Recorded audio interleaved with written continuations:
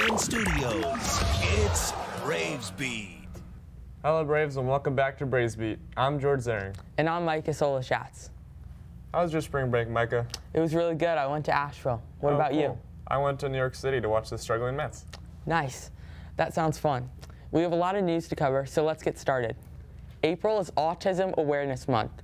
Today, there is a negative stigma surrounding autism, and this month focuses on getting rid of the stigma as well as providing more opportunities to people with autism.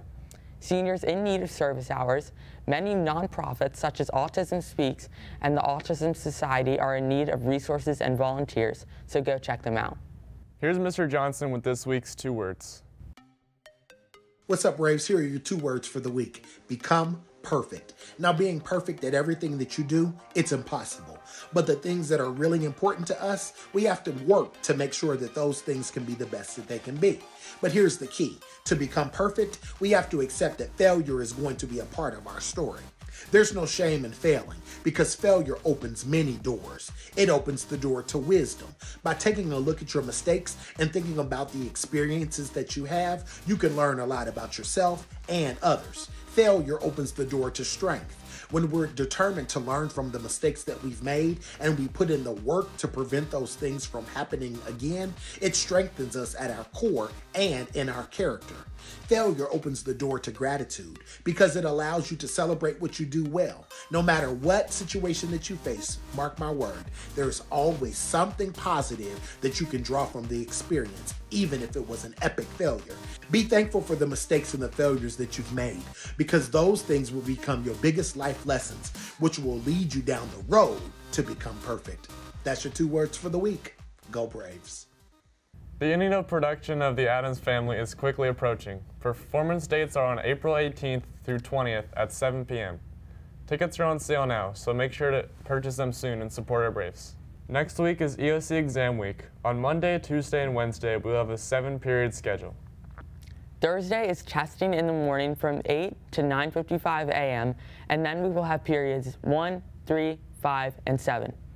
On Friday, we will also be testing in the morning from 8 a.m. to 9.55 a.m. That will be followed by periods 2, flex, 4, and 6. Good luck to everyone who has taken the EOCs. Let's now throw it over to our sports report with Chase and Jacob. Take it away, guys. Thank you, George and Micah. What a wonderful introduction. I'm Jacob Bayless. And I'm Chase Lanham.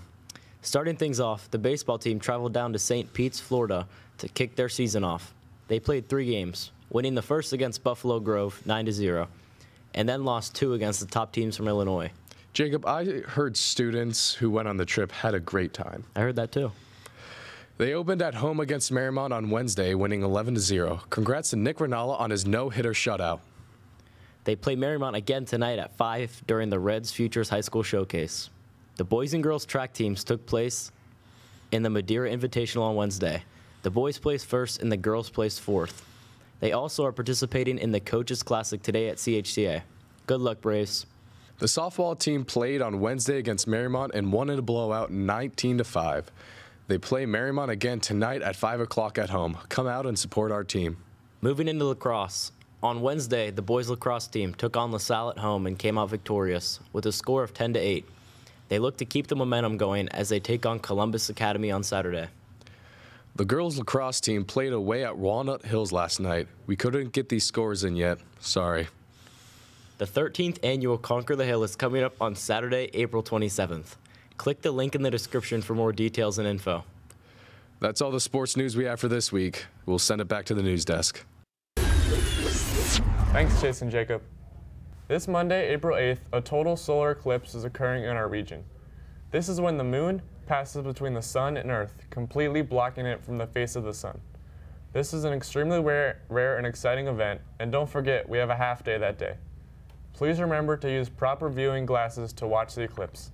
Before we conclude this week's episode, this week is National Assistant Principal Week.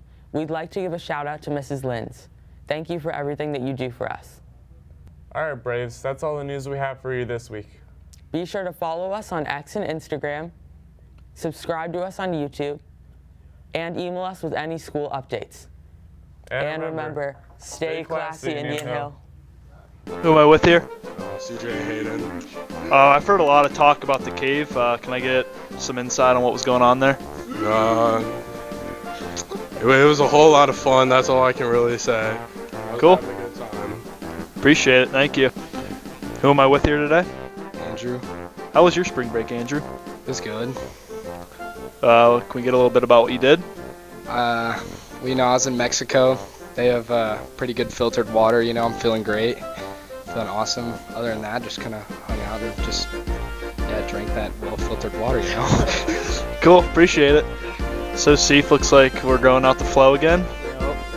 Yeah. Good. I like it. Uh, what'd you do over spring break? I spent time with family. Went down to Indianapolis and hung out with some friends as well. Cool. Well, some incline bench. It looks like too. A little bit, yeah. Yeah. Good. Keep working at it, man.